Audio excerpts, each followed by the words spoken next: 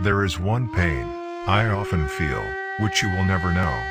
It's caused by the absence of you.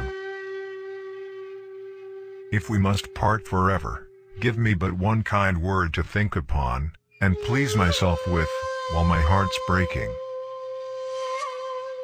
It's amazing how someone can break your heart and you can still love them with all the little pieces.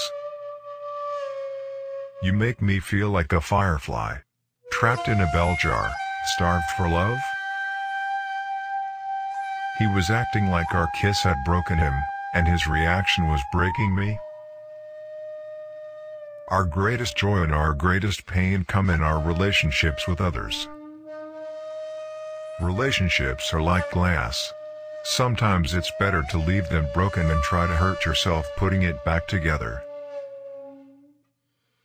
Falling in love is like holding a candle. Initially it lightens up the world around you. Then it starts melting and hurt you. Finally it goes off and everything is darker than ever and all you are left with is the burn. When you think you're first falling in love, just then you realize you're falling out of love.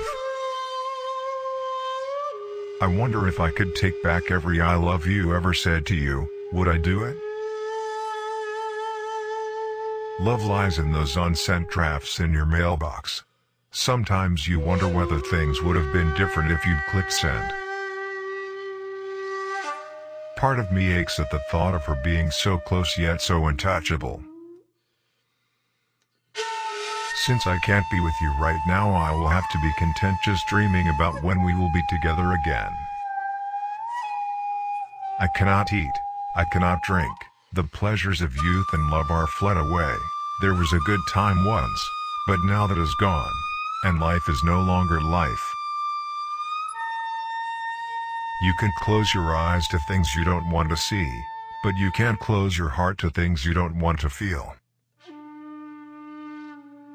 It is sad not to love, but it is much sadder not to be able to love.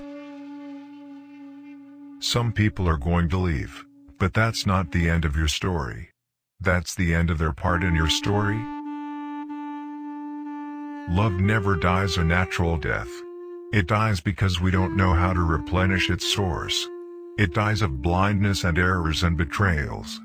It dies of illness and wounds. It dies of weariness, of withering, of tarnishing. It is better to have loved and lost, than never to have loved at all.